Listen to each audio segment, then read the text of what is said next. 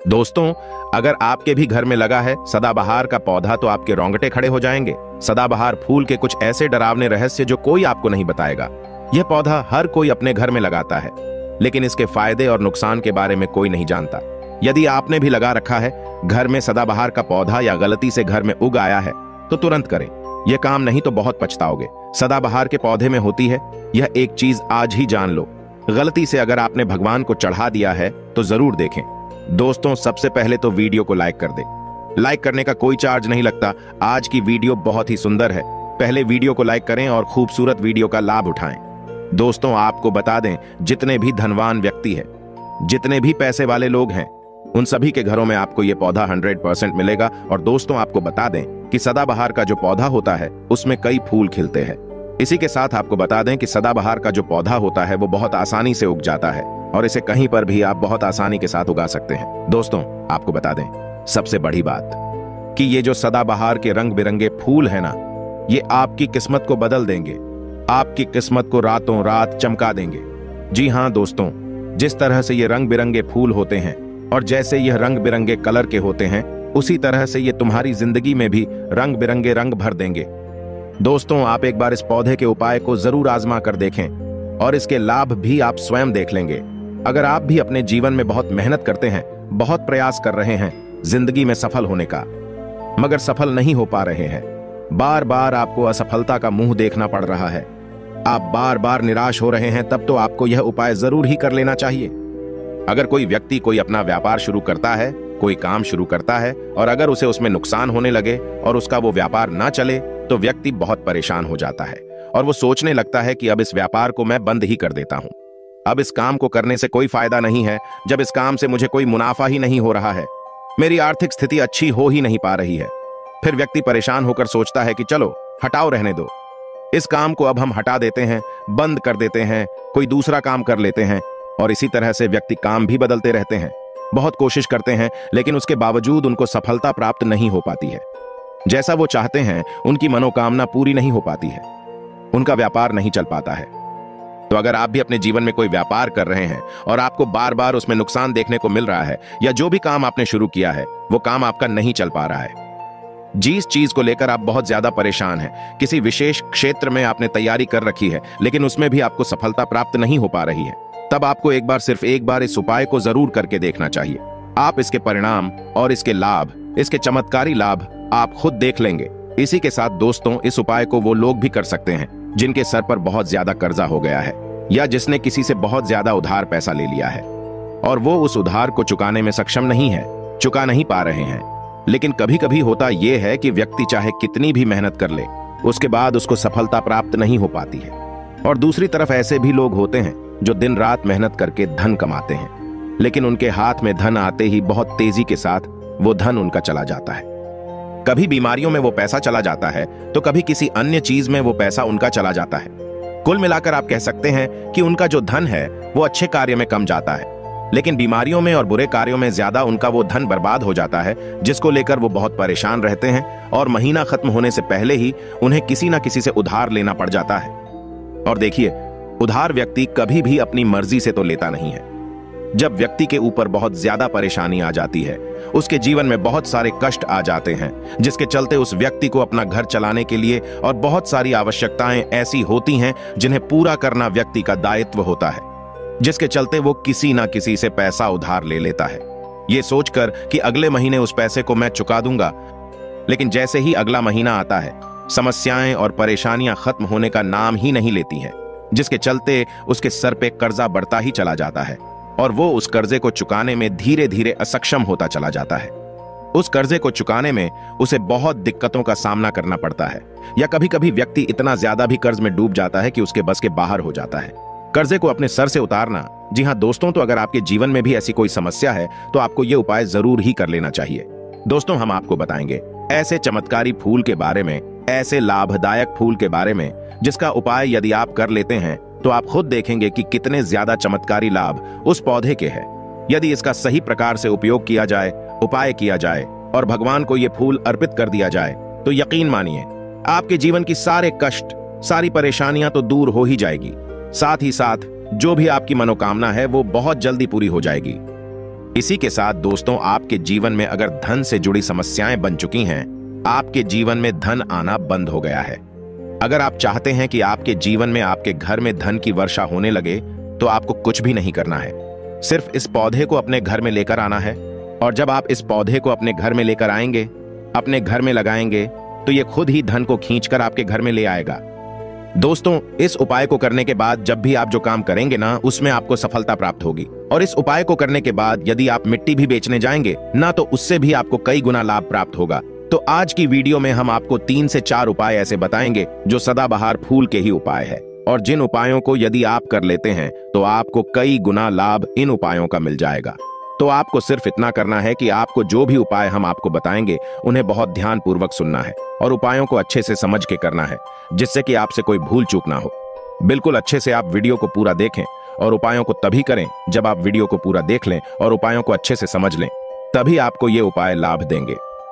इसी के साथ दोस्तों कमेंट सेक्शन में सबसे पहले जयकारा लगा दें। आप चाहें तो अपने इष्ट देव का जयकारा लगा दीजिए। किसी का भी आप जयकारा लगाएँ, लेकिन जयकारा ज़रूर लगाएँ। और अगर आप हमारे चैनल पे पहली बार आए हैं तो चैनल को ज़रूर सब्सक्राइब कर ले और वीडियो को लाइक ज़रूर कर दें। तो चलिए, जल्दी से हम आपको बता देते हैं कौन कौन से हैं वो उपाय देखिए। ये तो आप सभी जानते हैं कि संसार में बहुत तरह के वृक्ष पाए जाते हैं और सभी वृक्षों का अलग अलग महत्व होता है। उन्हीं में से कुछ पेड़ पौधे कुछ वृक्ष ऐसे होते हैं जो देवी तुल्य होते हैं। मतलब कहने का है कि जिन्हें देवी का दर्जा प्रदान किया गया है, जिन्हें देवताओं का दर्जा प्रदान किया गया है। जैसा कि आप जानते हैं, तुलसी का पौधा हो गया, पीपल का वृक्ष हो गया, बट वृक्ष हो गया। ये सभी बहुत पूजनीय पौधे माने गए हैं। तो आपको बता दें कि कुछ वृक्ष ऐसे होते हैं जिनमें दैव्य शक्ति होती है, जिनके अंदर बहुत अलौकिक चमत्कार होते हैं। अगर बात कर ले पीपल के पेड़ की तो उसमें साक्षात श्री हरि विष्णु का वास माना गया है, और समस्त देवी देवताओं का वास भी पीपल के पेड़ के अंदर माना जाता है। और अगर हम बात करें समी के पेड़ की तो समी का जो पेड़ होता है, उसे शनिदेव की तरह ही देखा जाता है। कहा जाता है कि शनिदेव का उसमें वास होता है, और अगर बात करें आंकड़े के पेड़ की तो यानी कि हम जब आंकड़े का पेड़ देखते हैं, उसे निहारते तो ऐसा लगता है कि गजानन को हम निहार रहे हैं। बेल का पेड़ हो गया, जो कि बहुत ही पूजनीय है, ये आप भी जानते हैं। तो आपको बता दें कि हर पेड़ की अपनी अपनी दिव्य शक्तियाँ होती हैं अपने अपने लाभ और अपने अपने चमत्कार होते हैं। अब मान लीजिए, किसी भी पेड़ की जिनमें दैवीय शक्ति होती है, उनमें से किसी भी पेड़ की यदि हम सही प्रकार से पूजा कर लेते हैं, अच्छे से उपायों को कर लेते हैं तो यकीन मानिए आप अपने जीवन की समस्त समस्याओं से छुटकारा पा सकते हैं और आप अपने जीवन में जो चाहे वो पा सकते हैं। बड़ी से बड़ी मनोकामना भी आप अपनी पूरी कर सकते हैं और अगर हम बात करें सदाबहार के फूल की तो सदाबहार एक ऐसा फूल है जो सदा खिलता रहता है, हमेशा ये खिला रहता है।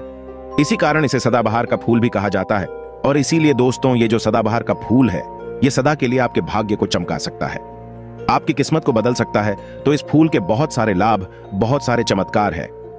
हम आपको बहुत ही सरल शब्दों में बताने का और समझाने का पूरा प्रयास करेंगे, जिससे कि आपको किसी समस्या का सामना ना हो। आप उपायों को बहुत अच्छे से समझ के अच्छे से कर सकें। आप चाहें तो इनको लिख भी सकते हैं और आप चाहें तो हमारी वीडियो को दोबारा भी देख सकते हैं। आपको उपाय अच्छे से समझ आ जाएँगे। तो देखिए, अगर बात करें सदाबहार के फूल की उस पौधे की तो सदाबहार के दो रंग के फूल होते हैं। एक फूल होता है सफ़ेद रंग का, और वहीं दूसरा जो फूल होता है, वो होता है गुलाबी रंग का। आपने देखा भी होगा, हल्का गुलाबी रंग का। वो फूल होता है तो आपकी जानकारी के लिए बता दें कि सफ़ेद रंग का जो सदाबहार का फूल होता है, वो माता लक्ष्मी को प्रसन्न करने के लिए बहुत ही कारगर फूल है। बहुत ही ज़्यादा माता लक्ष्मी को वो फूल पसंद है। और गुलाबी रंग का जो सदाबहार का फूल होता है, वो भी माता लक्ष्मी को अति प्रिय होता है। क्योंकि गुलाबी रंग तो माता रानी का सबसे ज़्यादा प्रिय रंग है। तो जब आप सदाबहार के इन फूलों का कोई उपाय करते हैं तो इसका मतलब है कि धन खींचने की चाबी आपने अपने पास रख ली है। धन खींचने का पौधा अब आपने अपने घर पर लगा लिया है। इसी के साथ दोस्तों आपको बता दें कि शिव जी को सफ़ेद रंग का जो सदाबहार का पुष्प होता है, जो फूल होता है, शिव जी को सफ़ेद रंग का सदाबहार का पुष्प बहुत ज़्यादा प्रिय होता है। यदि आप इस सफ़ेद रंग के पुष्प को शिव जी को अर्पित करते हैं तो आपके जीवन की बहुत सारी समस्याओं से आपको छुटकारा मिल जाएगा, और आपके जीवन में जो भी राहु केतु का दोष है, वो भी पूरी तरह से समाप्त हो जाएगा। तो जब भी आप इस सफ़ेद रंग के पुष्प को शिव जी को अर्पित करें या माता रानी को अर्पित करें तो आप अपनी मनोकामना बोल दें। आपकी कैसी भी मनोकामना है, वो ज़रूर पूरी हो जाएगी, और यदि आप इस सफ़ेद रंग के पुष्प को शिव जी को अर्पित करते हैं तो शनिदेव भी आपसे बहुत प्रसन्न होते हैं। अगर आपके पास सदाबहार के पुष्प है, आपके घर में कोई पौधा लगा है तो बहुत अच्छा है। लेकिन अगर आपके घर में सदाबहार का फूल नहीं है, पौधा नहीं है तो आपको अपने आसपास ये बहुत ही आसानी से प्राप्त हो जाएँगे। वहाँ से भी आप इन फूलों को ले सकते हैं। तो चलिए सबसे पहला उपाय, हम आपको बता देते हैं कि आपको सफ़ेद रंग के सदाबहार के पुष्प लेने हैं और किस दिन इस उपाय को करना है।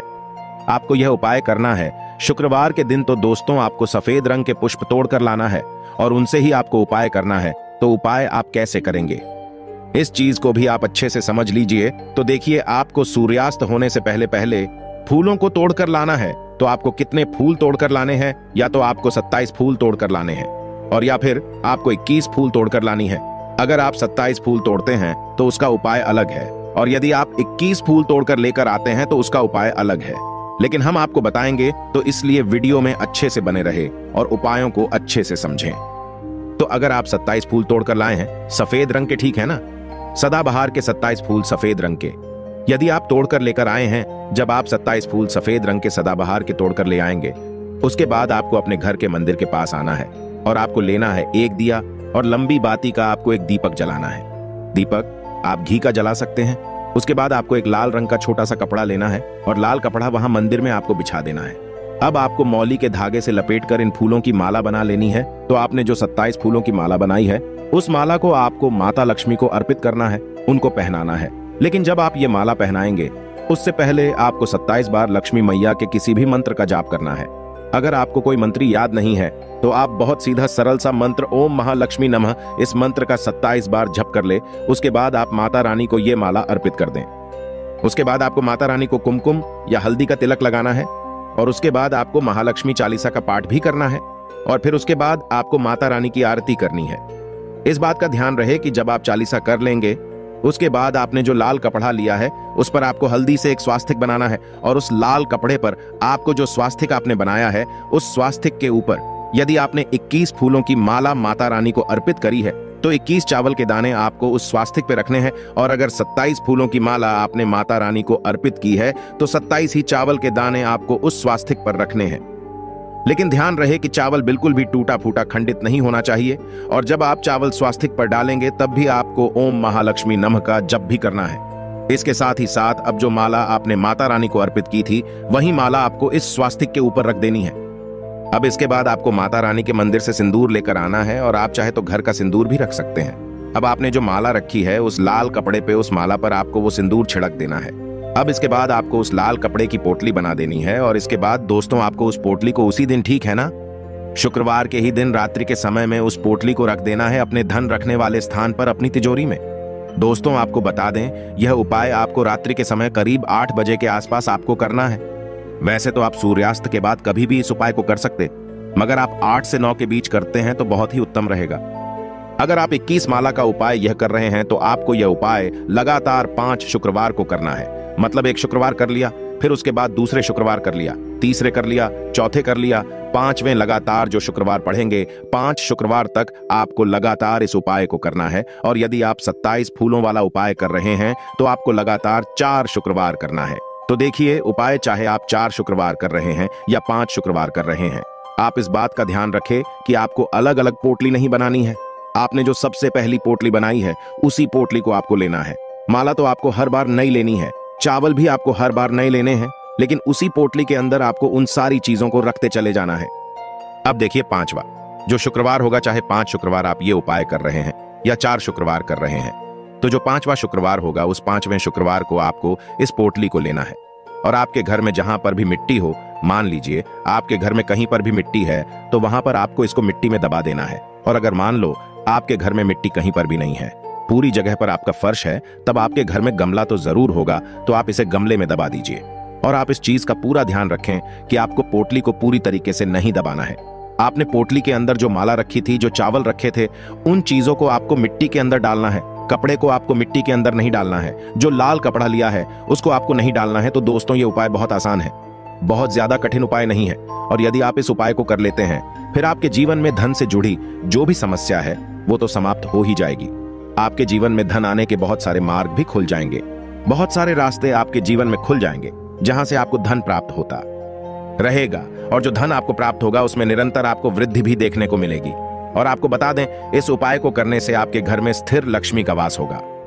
तो देखिए, यदि आप पाँच शुक्र वाला उपाय कर रहे हैं, पाँच शुक्रवार वाला, तब तो आपको छठे दिन यह प्रक्रिया करनी है। छठे शुक्रवार को, और यदि आप चार शुक्रवार वाला उपाय कर रहे हैं तो आपको पाँचवें शुक्रवार वाले दिन इस प्रक्रिया को करना है।